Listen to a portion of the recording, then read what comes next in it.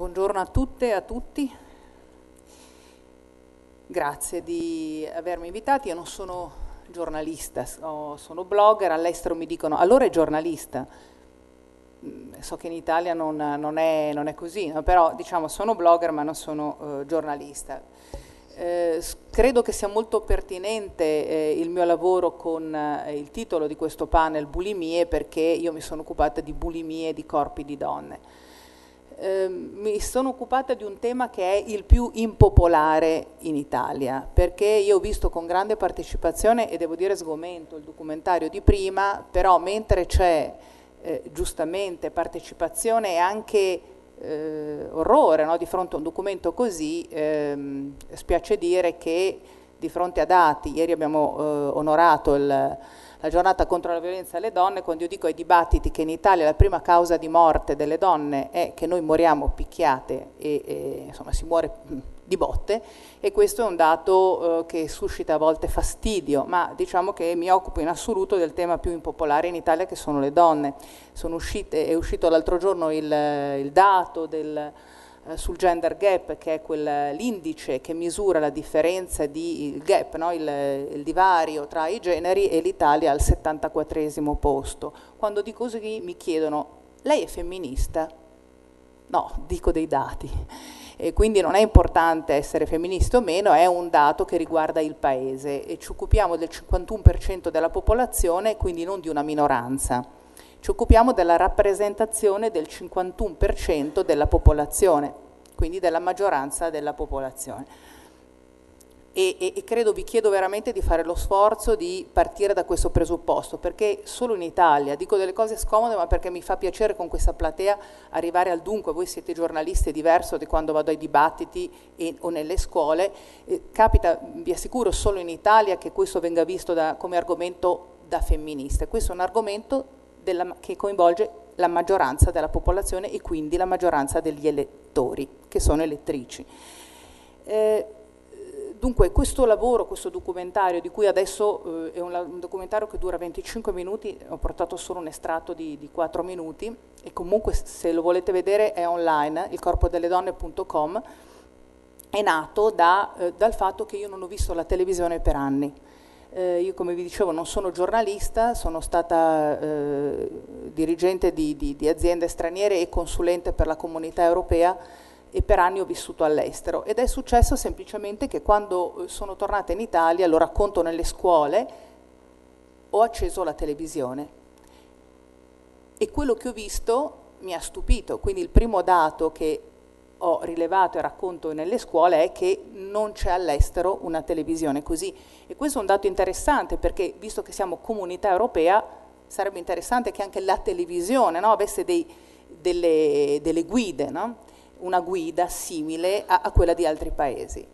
Quindi ho visto qualcosa che non vedevo, no? non vedevo, ho vissuto in Germania, in Inghilterra, in Francia e quindi mi sono stupita. La seconda cosa che mi ha stupito è che ho cominciato a telefonare a tutti, da, da, mia madre agli amici giornalisti, agli amici registi, agli amici manager. Ho detto, ma eh, sono davanti alla televisione, c'è, una sotto il tavolo. Pensavo di aver beccato, una, non sto scherzando, una, un'immagine eccezionale, cioè chiamiamo la trasmissione, chiamiamo i quotidiani. E, e la risposta era, no, no, dice Lorella, è la televisione.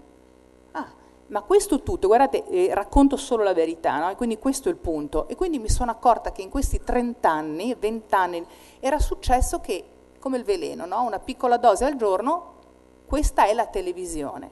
Poi mi sono accorta, scusate per, perché visto che abbiamo poco tempo, sono... Uh, costretta a eh, correre, la seconda cosa di cui mi sono accorta è che c'era un gruppo di persone a cui dicevo ma che cosa accade? Mi diceva è la televisione ed era normale. Poi c'era un gruppo consistente di amici colti, intellettuali che mi diceva sì ma la televisione tanto io non la guardo. E questo mi è sembrato gravissimo. Questo forse mi è sembrato, è la cosa più grave che ho sentito dire. Cioè, i miei amici che avevo perso magari di vista, che di sinistra, e ormai lo metto solo tra virgolette, che mi dicevano io tanto non la guardo. Mi ricordo uno che mi ha detto ma io la sera leggo Baudrillard. E la cosa che mi sono accorta contemporaneamente è che invece la gente in Italia la televisione la guardava e tanto.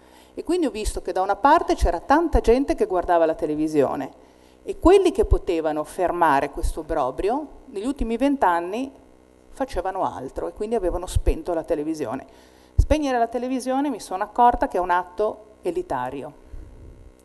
Spegnere la televisione a mio avviso ha voluto dire che intanto c'è stato quello che noi sappiamo c'è stato in questi 30 anni e quindi mi, la mia reazione è stata di dire no, non spengo la televisione, non l'ho vista, non c'ero, ma forse sono colpevole anch'io, adesso la guardo, ne guardo tanta e faccio qualcosa, visto che ho conservato questo sguardo critico. Quindi eh, avevo già fatto un documentario nella mia vita, era un po' una passione, non un hobby, non era una professione, insieme a due amici di cui uno è montatore professionista, maschi, eh, abbiamo, ci siamo focalizzati sull'intrattenimento, abbiamo pensato che non potevamo prendere in visione tutto e abbiamo visto in un tempo ristretto 400 ore di intrattenimento televisivo, sia registrando, quindi quello che andava in onda, sia andando su YouTube. Perché 400 ore per 25 minuti? Perché volevamo fare un'analisi eh, ben fatta. È un'esperienza forte, però eh, dico che vedere almeno otto ore di fila eh, la televisione è un esercizio di, di grande eh, cittadinanza attiva, cioè lì ho capito tante cose di come votiamo, del paese che siamo, lì ho capito l'Italia perché votiamo in un certo modo, da lì è passato tutto, lì ho capito le notti di Arcore, lì ho capito tutto. E quindi è stato un grande, eh, un grande aiuto. Abbiamo fatto questi semplicissimi 25 minuti, perché 25 minuti? Perché da subito abbiamo pensato che volevamo metterlo online gratuitamente, perché io volevo arrivare ai ragazzi e alle ragazze italiane. Diciamo, ho detto, ok, prima che sia troppo tardi, faccio in modo che qualcosa accada a loro. Abbiamo aperto un blog su Blogspot, eh, abbiamo fatto un montaggio 25 minuti, io ho scritto il testo e nel maggio del 2009 l'abbiamo messo online non abbiamo nessun ufficio stampa, fino al momento in cui abbiamo messo il documentario online non c'è stato un euro di investimento, non ci sono stati soldi investiti, una quantità di lavoro immensa. E basta. Dal maggio del 2009 a oggi il documentario è stato visto da 4 milioni di persone solo attraverso il passaparola. E, e questa cosa eh, diciamo che ha cambiato le nostre eh, vite, mia, di Marco e di Cesare Cantù, che sono gli altri autori.